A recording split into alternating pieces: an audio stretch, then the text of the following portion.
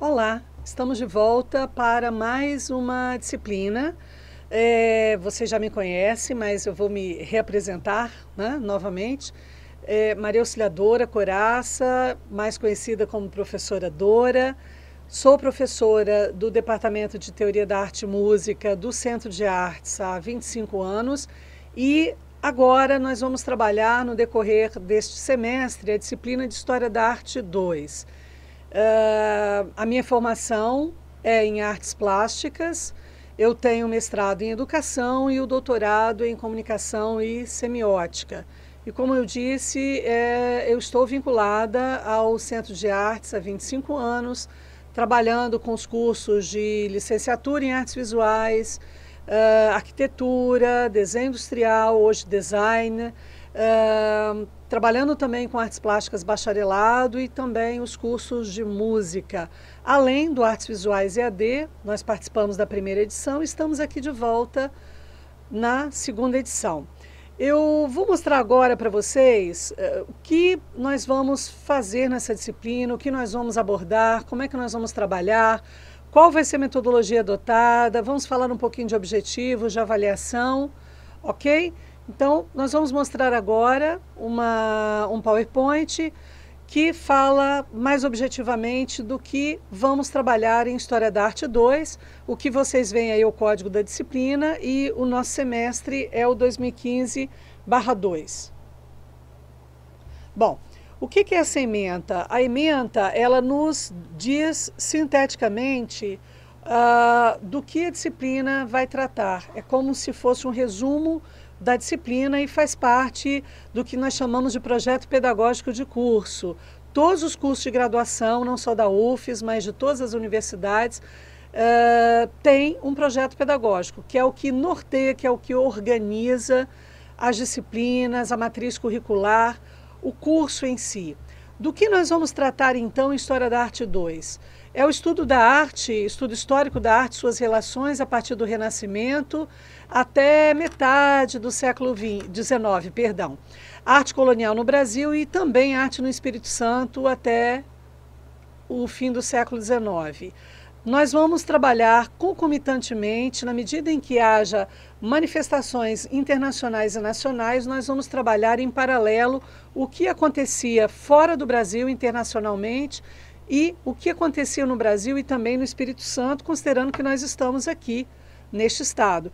E a ideia é que vocês possam fazer uso de manifestações culturais, uh, artísticas, uh, de patrimônio histórico, quer seja de esculturas, quer seja de arquitetura, daquilo que foi produzido nesta época no Espírito Santo, nós vamos pedir que vocês façam uma determinada ação no decorrer do curso, resgatando isso, para uh, essa disciplina, nós vamos falar mais detidamente depois.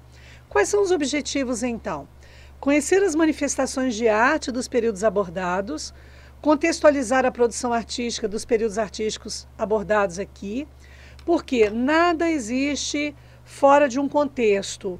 Aquilo que foi produzido em determinado momento foi produzido de uma determinada forma porque estava vinculado a um contexto social, econômico, político, religioso, enfim. E isso nós vamos sempre levar em consideração. Vamos também é, desenvolver análises das imagens de arte que, ser, que serão estudadas aqui e identificar nelas as características das manifestações artísticas dos períodos abordados. Vocês vão ver que isso varia bastante. E em alguns momentos, uh, o Brasil ele traz alguns traços diferenciados em relação àquilo que foi produzido internacionalmente. Nós dividimos então o nosso programa em quatro unidades. Estão aí unidade 1, unidade 2, unidade 3 e unidade 4, começando a partir do Renascimento, fora da Itália, né? e indo até arte no século XIX, no Brasil e na Europa. Então, nós vamos trabalhar por unidades, Uh, ao término de cada duas unidades, nós teremos avaliações, além de outras duas, outras duas elaborações de avaliação que vocês já conhecem. Uma é o banco de imagens e o outro é o mapa conceitual. Vamos detalhar um pouco mais daqui a pouco. Bibliografia básica do conhecimento de vocês, o Gombrich vocês já vinham usando. Ele, inclusive, já foi totalmente escaneado e se encontra na plataforma à disposição. O Jansson uh, foi pedida aquisição para as bibliotecas dos polos. E o Bazan também seria bibliografia, bibliografia básica da nossa disciplina. Enquanto avaliações, nós temos avaliações presenciais, Pesquisa de campo com elaboração de jogo, vocês vão gostar muito disto, porque nós vamos utilizar a experiência de vocês, no ambiente de vocês, em relação ao que existe de manifestação de arte uh, dos períodos estudados na sua região ou em região próxima e propor jogos, considerando que vocês são estudantes de formação de um curso de professores, ok? Uh, a ideia é que a gente tenha vocês uh, com domínio de preparação de material ao término, utilizando-se da história da arte. Não é meramente uma disciplina de formação de informação, mas a ideia é que vocês usem o que vocês vierem a conhecer e aprender nessa disciplina para a sua sala de aula, aquelas pessoas que já se encontram em exercício profissional e aquelas pessoas que se tornarão professores a, depois da, de conclusão do curso. Uma outra também que vai acontecer no Polo é uma análise comparativa de três esculturas do Renascimento. Oportunamente, vocês vão ver, ela estará lá na plataforma e nós vamos estar orientando vocês, assim como os tutores, a como proceder.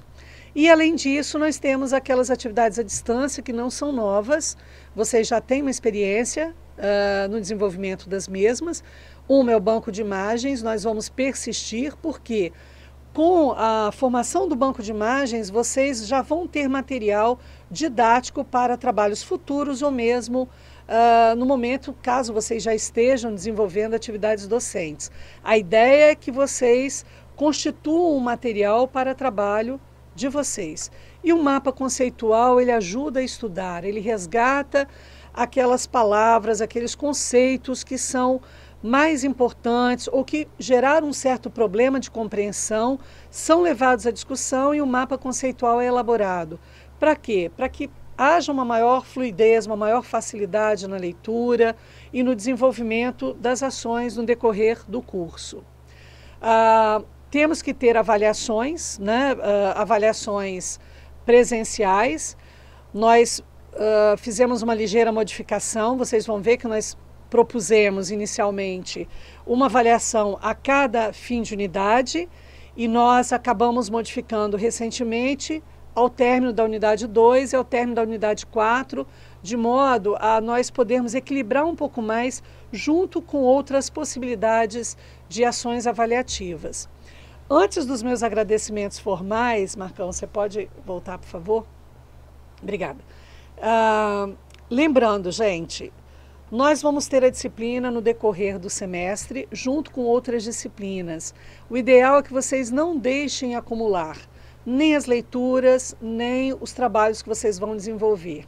As datas, as épocas corretas de desenvolvimento de toda a ação eh, avaliativa ou não estarão definidas na plataforma vão ser orientadas por nós, nós vamos ter é, videoaulas e a ideia é também fazer webs com uma certa frequência para que vocês possam tirar as dúvidas que porventura não forem sanadas junto aos tutores, tanto à distância quanto presenciais. Bom, este é um ponto.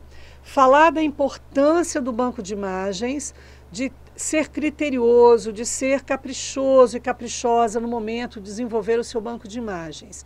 E também a nossa preocupação em relação ao mapa conceitual. Que vocês se empenhem em relação ao mapa conceitual também, considerando que ele visa ajudá-los no decorrer dos estudos de vocês.